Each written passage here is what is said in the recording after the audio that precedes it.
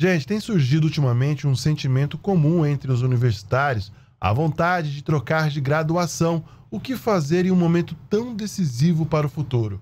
A nossa equipe de reportagem produziu, né, sobre o assunto e tem dicas para quem se encontra em dúvidas o que escolher da futura profissão ou de, forma, de uma forma assertiva. Acompanhe. Se escolher algo é difícil, imagine ter que mudar depois. Ou pior, quando a mudança é de um curso superior e ter que lidar com as mais diversas reações da família e do seu ciclo social. Imagine ainda sair de uma universidade pública e ingressar em uma universidade particular, na modalidade de educação à distância, o EAD. Situação essa que o Lucas teve que enfrentar. Por pressão da família, ele achou que estava na caixinha errada. Bom, enfermagem, vou ser bem sincero, foi mais a livre espontânea pressão da família, sabe? Como causa do curso, que era da saúde, e tal, mas eu vi que não era minha área, fiquei quatro anos estudando na graduação e a gente vai vendo a dificuldade que é passar no curso, como é que é a realidade nos hospitais, nos postos, e eu não me identificava com isso, acabei optando por trocar de curso mesmo, que já era uma área que eu estava gostando e fui profissionalizando para isso. A mudança de curso teve efeitos. Isso foi imediato. Melhorou até a saúde do Lucas.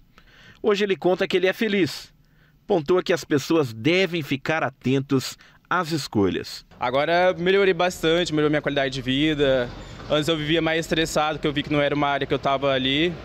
Mas agora estou mais feliz, estou mais realizado que eu escolhi. Bom, a primeira coisa que eu falo, igual meus amigos me perguntam sempre, eu falo, gente, estude a grade curricular do curso, vê certinho se é o que você quer estudar, se quer o que você quer levar para a vida mesmo, se é a área que vai pensar assim, ó, eu vou, estudar, eu vou trabalhar aqui 20 anos, é o que eu quero para minha vida? tem que pensar é, muito bem sobre isso lá na frente, não só agora. André Tocuda é psicólogo e coordenador do curso de psicologia Entre as Lagoas. Ele destaca que é muito comum essa falta de orientação na hora de escolher uma profissão. O psicólogo pontua ainda que é preciso descobrir as vocações de cursos durante o ensino médio. É comum acontecer, principalmente porque muitas vezes a gente não tem a cultura dentro da, das escolas mesmos de apresentar os cursos da, dos alunos que estão no ensino médio aí, conhecer as faculdades, os cursos que eles querem, para poder decidir melhor. Que o ideal sempre é fazer ter uma orientação profissional. O que a gente sempre aconselha é a pessoa, o aluno pesquisar bem as áreas que ele gosta. Então, às vezes o aluno vai muito porque o pai trabalha ou a mãe trabalha naquela área e acaba escolhendo muito por isso. Ou porque falam que dá muito dinheiro aquela profissão. E aí, às vezes, quando ele começa a fazer o curso, ele vê que não é a, aquilo que ele gostaria de estar exercendo o resto da vida. Por mais que seja difícil, o importante é seguir as vocações. Todos os dias, milhares de estudantes entram em cursos de nível superior sem saber o que realmente desejam ou por pressões externas.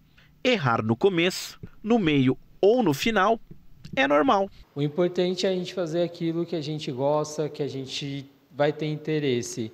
É óbvio que todo mundo quer ganhar dinheiro, todo mundo precisa é, do dinheiro final do mês, do salário. Mas a gente precisa fazer aquilo que a gente gosta, e precisa entender. É, e também para se dedicar à profissão. Se você está fazendo algo somente por dinheiro ou porque alguém pediu, mandou você fazer aquele curso, você não vai se dedicar 100% para aquela profissão. Então, é, se viu que também não, não é o curso, é, não é algo que você vai gostar de fazer para depois, no futuro, para, repensa, volta. A gente tem muito tempo, então dá para a gente também ir com calma. Né? A gente não vai acertar sempre na primeira